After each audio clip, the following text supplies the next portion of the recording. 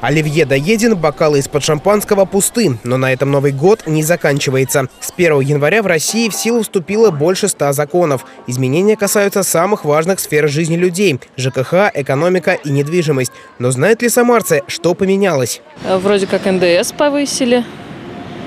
Э, Больше не знаю. Знаем, что все повышается очень хорошо.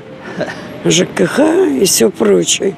И это особенно пенсионеров вообще не радует, а только огорчает.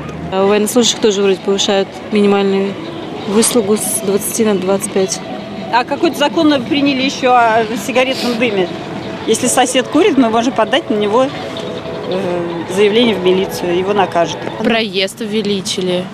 НДС увеличили, а, проект на рассмотрение НДФЛ. НДС вырос с 18% до 20%. В связи с этим тарифы ЖКХ увеличились на 1,7%. А это подача холодной и горячей воды, газ, отопление и электричество. По предварительным расчетам экспертов, семья из четырех человек, которая ежемесячно платит за коммунальные услуги 4,5 тысячи рублей, должна будет доплатить примерно 180 рублей. С Нового года в Самарской области сменился регоператор, который отвечает за вывоз мусора.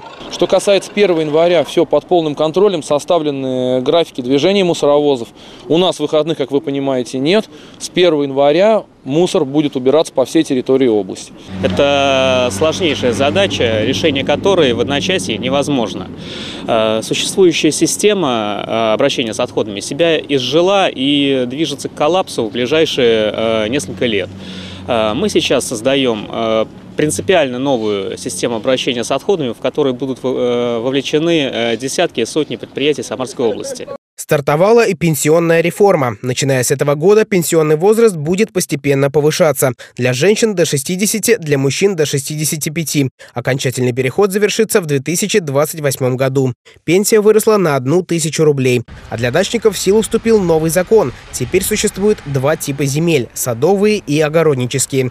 В первом случае на участке можно построить только колодцы и сараи, сооружения, которые можно собрать и перенести. Во втором свободы уже больше. На садовых, соответственно, можно будет строить объект капитального строительства, но здесь э, тоже существует ряд новшеств. Во-первых, нужно получать разрешение для его строительства, однако процедуру упростили, и если в течение 7 дней администрация вам не ответит, то ну, считается, что ваше строительство согласовано, и вы можете приступать к возведению объекта. Не больше трех этажей и не выше 20 метров. Таковы критерии для объектов капитального строительства. Тем, кто уже имеет собственность, но не успели зарегистрировать, необходимо узаконить до 1 марта. Для этого нужно прийти в соответствующие органы с техпланом и декларацией. В этом году изменения коснулись и водителей. Акцизы на топливо выросли в полтора раза, а значит дизель и бензин станут еще дороже. Кажется, пора переходить на экологичный вид транспорта. Так, в Ленинградской области владельцы машин на газу уже оплачивают налог со скидкой 50%,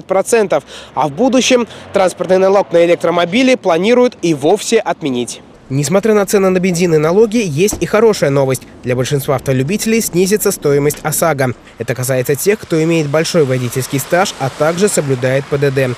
Так, например, для водителя старше 59 лет и за рулем больше 6 лет скидка 7%. Задача этого закона – сделать тарифы справедливее. Меньше ДТП – меньше цена.